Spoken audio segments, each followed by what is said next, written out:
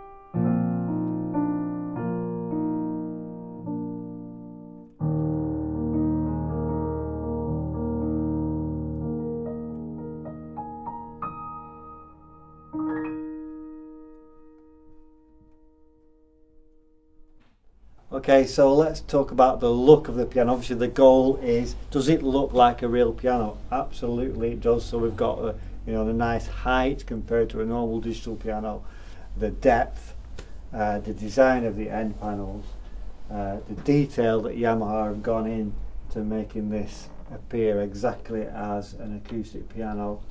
So we have the nice soft closed lid here this is only on the CLP 785. There's the 775 just has a sliding key cover, just not quite as authentic uh, as the uh, the regular lid as you would see on an acoustic piano. Nice full length music rest or a very good sized music rest with the four little clips. We can have our four sheets of A4, four, so four sheets of A4 nicely on there. Uh, another great little feature now on this one is that all the the wonderful advantages of the digital piano with all the, the lesson, the tuition and the features with the Bluetooth that you'll discover on this piano are all subtly hidden away. So you know the, the piano can be on but the screen isn't lit. So you just have this nice touch panel which will come on so you can use the features as and when you need to uh, but you can still play the piano. The screen will disappear as it has done now. And uh, and finally just to demonstrate the soft close lid of the proper Yamaha logo here. There we go. So fantastic job with the detail as they have done with the detail of the entire piano, including the sound and the playability, which we'll go on to. The detail that's gone into uh, the appearance of this CLP 785 is fantastic. Also available in the satin black finish as well. And finally, let's just compare this to a regular upright piano and just let's see how close they really have come. Uh, you can imagine if this was in, uh, I apologise about the environment, but we are a shop. So if you imagine this in a in a nice living room setting, it really would look like a classy upright piano.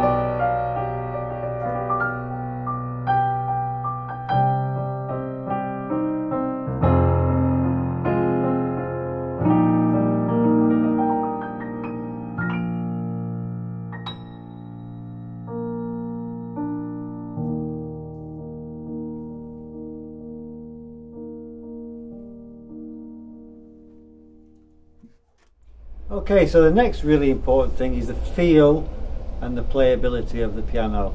Now, this stage, I'm conscious that people watching this, you know, might not actually be piano players themselves; they're buying it for somebody else. I don't want to go in too much technical detail. There's lots of great uh, detail on our website of the CLP 785. I do encourage you to, to have a look at that. But what I noticed when I played this piano for the first time was just the level of playability uh, was unlike anything we've had on previous digital pianos. You know, Yamaha have been making these for many, many, many years, and over the years got better and better and better. But this, this really is another level. Um, what I noticed, uh, one thing that I really noticed was the delicacy of the, the touch and the control you had at low volumes and also the the repetition. So how you could play, you know, quickly, and the key return is very quick and very precise, and uh, and uh, a lot of that is due to the counterweights. So the counterweights is, is something that is on the CLP 785, and it really does make a big difference into the response, the feel, the playability of the piano. So just a few more things on the, the feel and playability. So the surface of the key is like a non-slip synthetic ivory finish, so it's nice to play.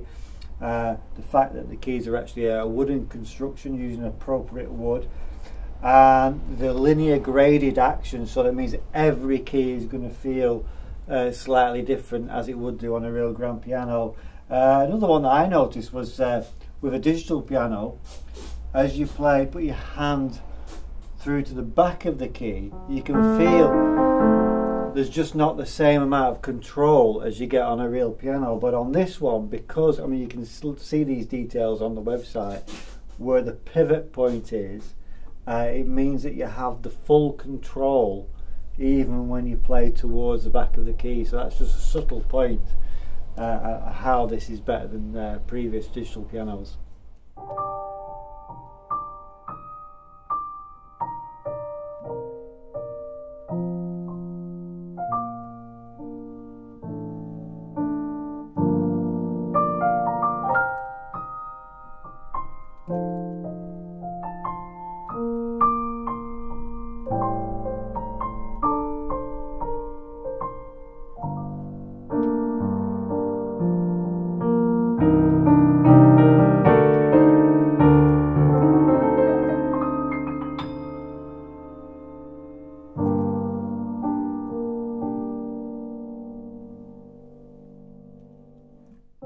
Let's talk about the sound.